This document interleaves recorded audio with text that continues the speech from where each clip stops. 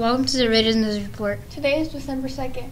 Remember to wear your Oak Valley Spirit shirts tomorrow. What's for lunch today? I don't know, that says Amberly and Braden for lunch weather report.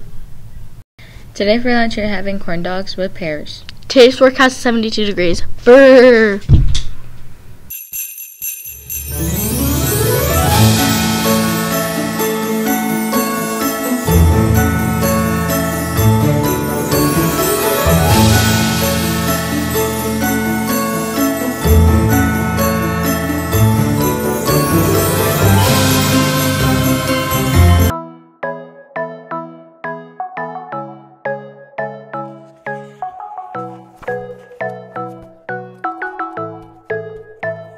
Please stand for the flag salute.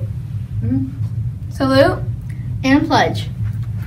I pledge allegiance to the flag of the United States of America and to the republic for which it stands, one nation, under God, indivisible, with liberty and justice for all. Yeehaw! That's all for today's Raider News Report. How are you guys today? Bye!